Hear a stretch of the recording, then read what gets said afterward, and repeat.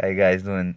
Today I'm gonna show you how to open a VW door uh, that's locked shut basically. What happens is the mechanism inside the door, the electronic component gets stuck and the only way to open it is to take apart the door.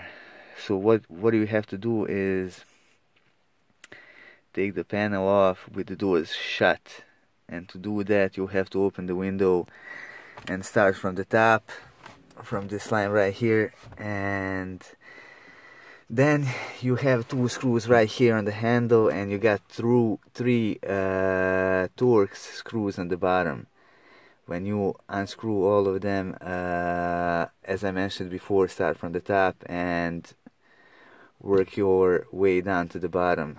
Uh, it's not gonna be pretty because it is gonna take some force to get it off but if you're lucky you won't damage it. When you do that uh, you have to take uh, these three or four bolts right here and you gotta take a peek inside at the locking mechanism. There's one Torx screw. It's located somewhere right here and what basically happens when you unscrew it the me mechanism will actually unlock. But uh, you have to take the peek inside see where the screw is and drill a small hole somewhere right here.